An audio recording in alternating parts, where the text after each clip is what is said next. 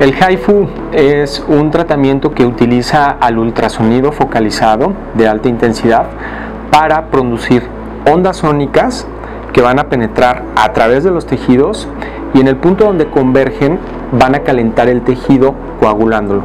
Vamos nosotros calentando los miomas poquito a poquito, quemándolos hasta que eh, se queman por completo y bueno, ya después el cuerpo hace su función y esos miomas tienden a reabsorberse, disminuyendo en tamaño hasta un 50 o un 70% y en algunos casos desapareciendo. Los beneficios de HIFU principalmente que tenemos que no es un tratamiento invasivo, por lo tanto es una paciente que no se va a someter a una cirugía, eh, no va a haber una herida, no va a haber una cicatriz, eh, sobre todo para pacientes eh, que todavía tienen deseos de, un embarazo y que tienen pues el, impedimento a veces de, de contar con, de tener un diagnóstico de miomatosis uterina.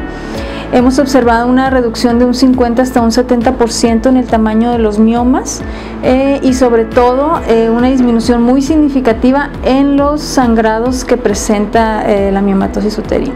Para saber si eres candidata al tratamiento, nosotros debemos de realizar una resonancia magnética de screening. ¿Por qué? Porque la resonancia es el método más preciso para valorar los órganos de la mujer. Con esto nos vamos a dar cuenta cuántos miomas tienes, dónde están localizados, si se interpone alguna estructura importante entre la piel y el útero que eh, impida o dificulta el tratamiento.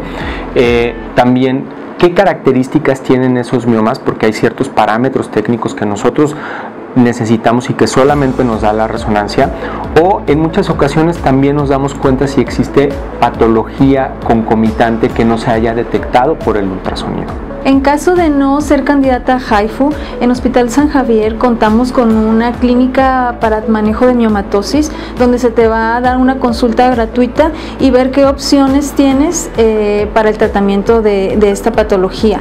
Puede ser tratamiento médico o tratamiento quirúrgico o embolización.